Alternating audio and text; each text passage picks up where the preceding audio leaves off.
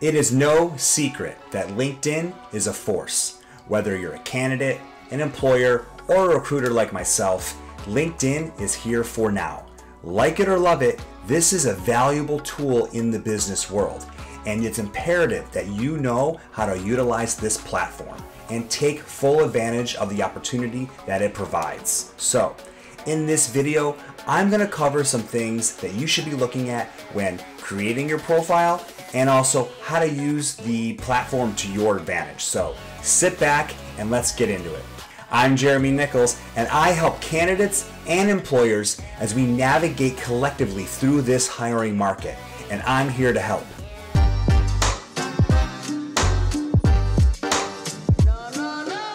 Please like this video, hit the subscribe button, and ring that notification bell for weekly updates on this channel. Every week, I'll be updating new videos with content on the hiring market for candidates, for employers, recruiters, and anyone who is looking how to navigate this current job market. Now, if you have any questions or comments, you can just put them in the comment section and I will be sure to get back to you. You can also send me an email if you want to make it private, and that's jeremy at geckohospitality.com. So last week, I made a video on tips and tricks on your resume. And in that video, I mentioned that LinkedIn is just as valuable as your resume. Recruiters, headhunters, companies are looking at your LinkedIn profile just as much as they're, they're looking at your resume. Now, if you want to see that video on the resume tips, I'll put a card for it right up in the corner. Now, LinkedIn is just as valuable to employers, hiring managers, recruiters, entrepreneurs as it is as a candidate. So, as I go through some LinkedIn tips, there's going to be some certain areas where I'm touching on the Canada end and then when I'm touching on the marketing end. I'm gonna make this video into two. So in this video, I'm gonna cover my top 10 out of 20. So in this video, I'll have 10 and then I'll make another video with my other 10. So without further ado, let's dig into it. Whether you're a candidate, an employer, a recruiter, or an entrepreneur that is trying to promote their business, you have to look at LinkedIn as more than just a social media app. Oh, it's a social media app with business leaders. You don't want to treat it like Facebook. I think you should be using LinkedIn as a billboard, but a way more effective billboard. This is not just a billboard that is up on the highway and hopefully getting your attention when you drive by to go get your groceries. And maybe you looked at it and maybe you jotted down some notes. This is a billboard that has the opportunity to get in front of millions. So this billboard is vital for you to, to use when you are looking for a job or promoting your business or looking for talent. Now I know it is nerve wracking to put yourself out there. Most of us are introverts and to put yourself out there on a business networking platform is scary. Trust me, I can relate. It took me a long time to get very active on LinkedIn. I think I created my profile eight years ago, maybe even more. And it wasn't until recently where I really just pushed myself to another level on LinkedIn and I saw results. So you have to try to get over being nervous and just start to practice and getting yourself out there. It's such a valuable tool that so many are not utilizing. And when I'm talking to candidates, it's one of the first things I'm going to look at on their profile and one of the first tips I'm going to give them if they want to cut through the noise and get noticed. It's an opportunity. And if you're not taking advantage of the opportunity to brand yourself personally on LinkedIn, you're wasting an opportunity. And this is an opportunity that somebody else is going to take advantage of somebody else that is your competitor or another candidate who's looking to get the attention of the hiring manager. And if you're wasting that opportunity, someone else will take advantage of it. And that's the last thing you want. The last thing you want is to be sitting back and watching someone else doing what you know you should have done and then having a ton of regret. Your LinkedIn profile is the foundation of your personal branding. And right now, let's jump into my top 10 tips. My first tip is pick a great profile pic. Now, this one might seem easy, but you would be surprised at how many are failing this. I suggest getting a photographer. If you don't know a photographer personally, look one up through your network and try to get someone who can give you a nice headshot. My typical advice would be uh, breastplate up, um, of course, smiling, show personality, smiling sells, all right? We don't want to have Mr. Serious Face, you know, staring at the camera. That's not a good look. You want a nice, smiling headshot. Mine is uh, not taking the advice. I actually did have a headshot from breastplate out for a long time, and I switched it up with a um, mid thigh to headshot, which again is, is fine. I had a photographer take mine. So if you want to do one where you're um, standing up and it's mid thigh to head, that that's fine too. But if you do something like that, have a photographer work with you with lighting and getting you you situated right for that shot. But uh, typically, uh, nice, high quality, high definition headshot. Tip two, the background photo or what I call the banner. So that's the picture that sits behind your profile pic if you're on a desktop or when you're on your phone or your iPad, it's the picture that's behind the profile pic. I don't know the stats, but I do see a huge chunk of people not taking advantage of this. This is an opportunity to really make your profile differentiate itself from others and to give yourself a little bit more personality. So if you don't have Canva, that's a great tool that you can use and create a banner for yourself. Canva has templates and you can get in there and make something really nice and it's set in the specs for LinkedIn. And that's Canva, if you don't know, is uh, C A N V A, canva.com. Um, if you don't know about Canva or you're, you're, you're not looking to use it, I'm sure you can find some HD high quality wallpaper pics on a Google search if you want. Uh, but my point is take a few minutes uh, and a little bit of time to make that banner pick behind you. My tip three your headline is important. Now, this is going to be your headline, which is under your name on LinkedIn. Now, this you're going to hear people telling you a lot of different things about this topic right here. So I got to come at this from a few different angles. If you're a candidate and you're looking to be discovered by headhunters and recruiters and employers, I think it's paramount that you put your title there. Now, if your title is something that is company specific, right? Something that the company kind of made up within your ranks that is not a common title, you may want to see what other titles out there are pretty much the same thing, right? Like I've seen it before. I'll give an example in hospitality. I've seen a title called Director of Fun. Now, there's not a lot of directors of fun out there. There are directors of events, right? And that's what this person was doing was a director of events. So someone like that that has a unique title that is company specific, try to find what that title is um, in most industries, like where you would apply to. Because when recruiters like myself or headhunters or employers are looking for you, we're going to be looking for that title.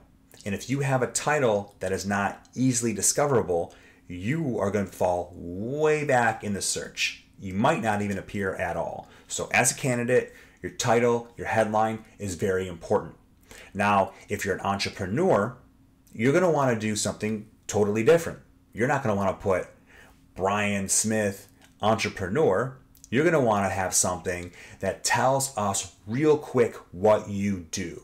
So when we're scrolling through and we're looking at um, who to connect with and network with, we know what you do. You don't really have to take the time to sell us too much because we know the gist of what you do. So try to capitalize on that headline and get the point across on what you do. Tip four is the summary section. The summary section should be your About Me section. The first thing to learn about the LinkedIn summary section is have one. Take that time to have a summary section. Now, for candidates, I would keep it maybe 80 20, 80% business, 20% yourself and fun. Maybe even 90 10, 90% business and 10% fun. But you know, you don't want to copy and paste the job description or copy and paste your resume in the summary section. You want to tell us, you know, like you're like you're talking to us a little bit about yourself. And then some, you know, little light-hearted fun fun facts in there just just to make it a little bit more light-hearted because it is social media. So make it make it more social. Don't be afraid to invest some time into this. So if you're you, you can put one up right away, but I definitely would come back and revisit it. Maybe do a few templates or try a few out, run your summary by a few friends and see what they think. This is the most personal and somewhat fun section of your LinkedIn profile, so it's pretty important that you take the time to put into your summary. Tip five use power words. Now, I went over power words in a lot of detail in my resume writing video, and I'll put a card for that um, up above in this video. And power words are words that you're going to use to help emphasize what you did in particular at your company or what you're doing in your business. Words like created, implemented, increased sales by, words that, that emphasize what you did. Now, these words are, are buzzwords, and they're words that are going to make you stick out. They're going to show uh, future employers, or future clients, things that you did. My tip six grow your network. This one right here, you, you, you need to go all in. I would make this a daily exercise to connect with as many people as possible within your niche. Now, I'm going to speak for myself. I'm in hospitality and I recruit and headhunt in the state of Florida for hospitality. So I, am pretty selective on who I connect with. They have to be people who are within my niche. Now, just because I'm in Florida, I do connect with um, people across the country because in my industry, people relocate and they move a lot. But I, I make sure that I'm pretty much just connecting within my industry or industries that um, have relationships with my industry. So I don't really connect with every single person that sends me a request because I know that I'm capped off at 30,000. Now, getting to 30,000, you might think, oh, there's a cap, but it's going to take a long time for you to get to that. So I would just play around, search for companies that you want to work with first. So connect with those companies um, and then look and see who works there the decision makers, people who are in the job titles or in the division that you want to work in, connect with them Start there.